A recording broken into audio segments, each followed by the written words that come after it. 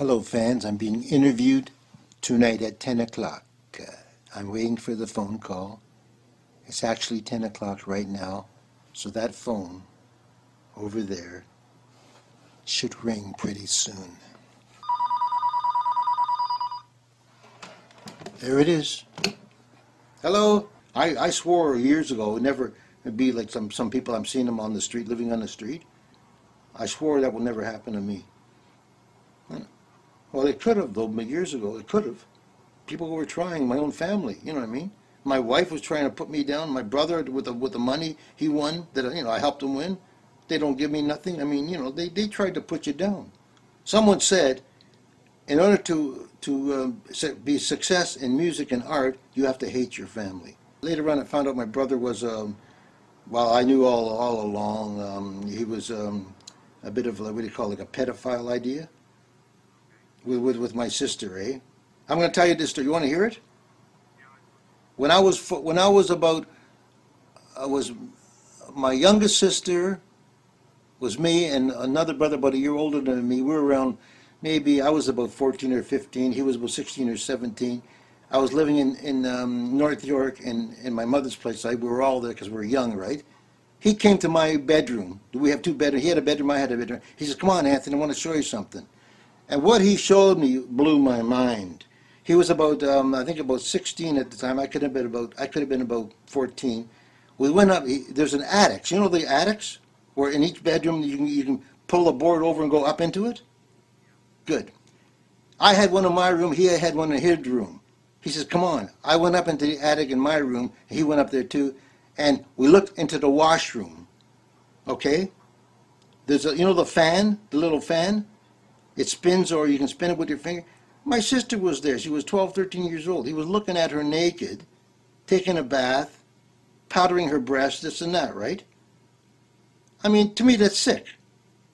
I said nothing. I didn't say nothing, but I mean, I'm thinking, I'm looking at the guy, I said, what a fucking, you know, like, you know, this is, you know, this is his own sister. You know what I mean? She doesn't know. I kept it quiet all those years. And later on, when he got married and he had a, a girl, he would talk to me about his her name was Kelly, right? When she was starting to get 11, 12, 13 years old, about how she was, you know, her breasts were starting to get big, and it's like it was turning him on. So this, to me, this guy's a sickie. I don't care what anyone says. Now that's the way he he's like. And then when we were, I found out too even more about him and his wife. They kind of stuck together. They invited me and my wife over to his place. They tried to get us two drunk and take advantage of us. What happened was he, he got us he got us drinking a beer each, and then Lenny, my, my brother, who that pedophile one, he went after my wife, started grabbing her. Sandy, his wife, went after she went after me, like a foursome idea, right? You know what I mean? Well, my wife was freaked out. She took off at the door right away. So I followed her, right? She says, well, she says, they're, they're weird. I said, I know they're weird. I says, you know. So, so what happened later on as the years went by, um, he had a son, right? And we and the, the son made the Toronto Star, the, the, the Toronto Star and, and the Toronto Sun. You heard the two papers? Okay, he was busted. The German police and the Canadian police were watching him for six months, uploading and downloading kitty porn. That's his his son. So I post now because of what my brother did to me, like father, like son. I post all the um, the posters, eh, in the Toronto Sun and uh, on Facebook on his birthday. August 28th every year.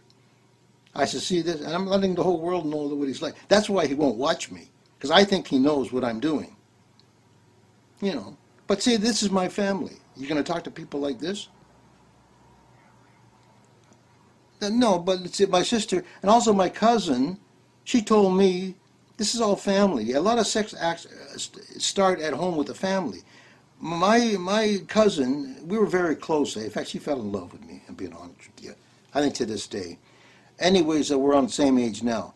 But she said when she was young, she used to go to my uncle's farm, right? Uh, we I used to go too. We were kids, right? We used to drive to Cobourg to my uncle Dominic's farm, who had about 150 acres or whatever. Dominic's kids were about 21, 22 years old. They used to rape her when, when she was about 14, 15 years old. She told me that, and I believe her. She has no reason to lie. This is family stuff. My oldest sister Rose, who passed away no, no, more- no more than six months ago, she was raped when she was about 16, 17. She was married to uh, her husband named Eddie. Eddie had a brother. When Eddie went to work, this is when she was about 18, 19 years old, the brother had the key to get into her, her, her apartment and would rape her. She wouldn't say nothing about it all those years. She finally told me no more than, um, I have to say, about 20 years ago. She told me, we sat for coffee. She says, you know, you know, um, Eddie, brother, he used to rape me. And um, I said, why didn't you tell Vince, my older brother? She says, they couldn't handle it. She wouldn't talk to tell them any of that because they feel they just couldn't handle it, hearing something like that. She, for some reason, she told me, a lot of people tell me things, eh? Even my, my nieces, my nephews, eh, before they would tell, tell their own parents. They confided in me. I don't know why, but they did. They told me a lot of things that nobody really knows. Okay. Okay, bye. Take care. Bye. And that's the end of the interview.